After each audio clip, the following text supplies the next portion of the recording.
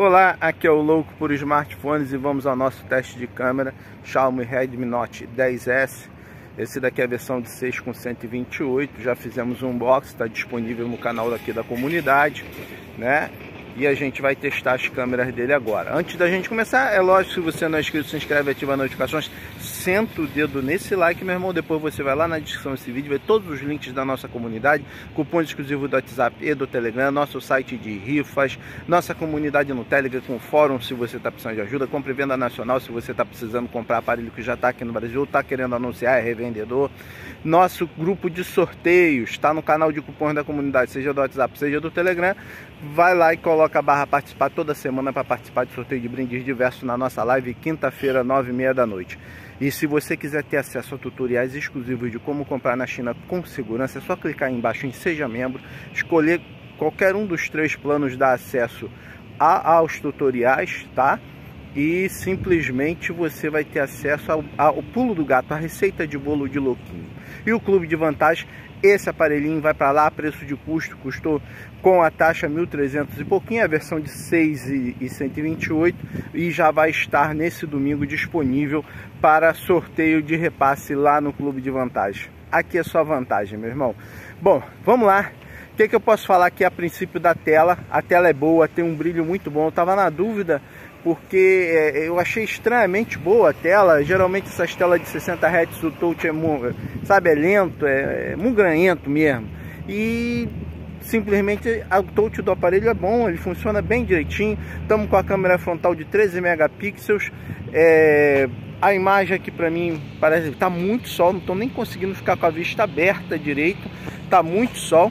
Vamos ver como vai ficar a captação de áudio. Lembrando que 1080p, 30 fps Final do vídeo, depois da câmera traseira, que a gente vier com a câmera traseira, a gente vai colocar o clipe de fotos tiradas lá dentro do shopping, tá? Então vamos caminhar um pouco mais forte aqui, mas a imagem para mim se apresenta bem legal e a tela é... Rapaz, que tela, hein? Pro aparelho, pro valor do aparelho, que telinha, meu irmão, que telinha, que telinha. Vamos lá, vamos seguindo, vamos seguindo. Vamos voltar com clipe de fotos, a câmera traseira de 64 megapixels, vamos testar e vamos ver como vai ficar a estabilização na câmera traseira. Agora a imagem para mim aqui tá legal, vamos ver como vai ficar essa captação. Cara, tô curioso, tô curioso, porque é uma surpresa esse aparelho. Realmente é uma grata surpresa. Vamos voltar com a câmera traseira. Bom, voltamos com a câmera traseira para um spoilerzinho, ele fez atualização para 1012.5 hoje tá? E vamos ver, vou sentir o aparelho, eu estou configurando ainda, vamos ver como o aparelho vai se comportar esses dias, né? Vou botar chip nele que ainda não coloquei, estou fazendo esses testes, esses testes que independem disso antes para a gente poder estar tá com o aparelho à vontade para testar bem, aí, aí sim colocar pressão na máquina. Mas a princípio aqui no básico o aparelho se desenrola muito bem.